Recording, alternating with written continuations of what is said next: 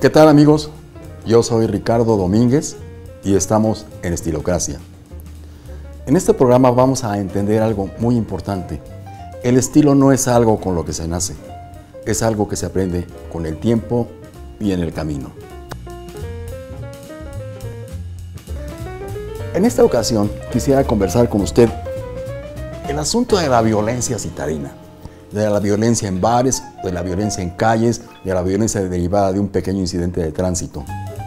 Uno puede tener incidentes con gente muy ruda, gente muy dispuesta a desquitar su furia interna con el primero que se les presente o el primero que los provoque.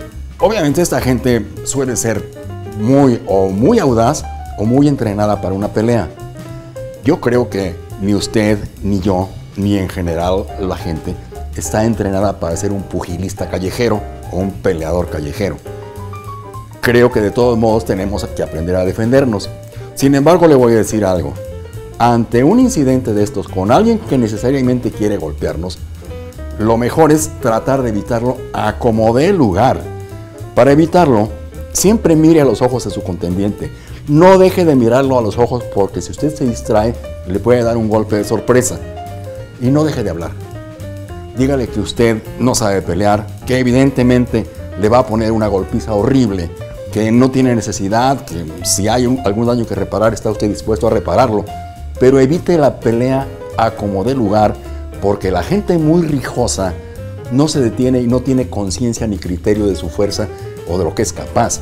Puede en un momento dado enterrarlo en desarmador, y eso ya tiene consecuencias más graves que el hecho de que le rompan la nariz de un golpe. Sin embargo, si el tipo ya está dispuesto a pegarle y usted no tiene para dónde moverse, defiéndase.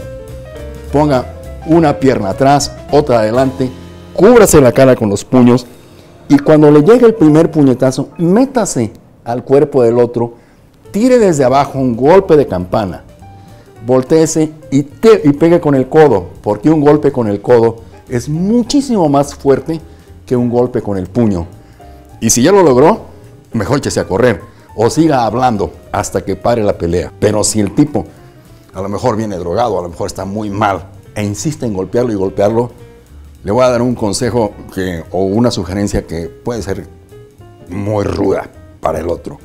Déjelo que se acerque, aguante los golpes y cuando lo tenga usted cuerpo a cuerpo, préndalo de la tráquea. Apriete la tráquea con todas sus ganas porque en menos de 10 segundos lo va usted a asfixiar ahí pare la pelea y huya en cuanto pueda usted echarse a correr.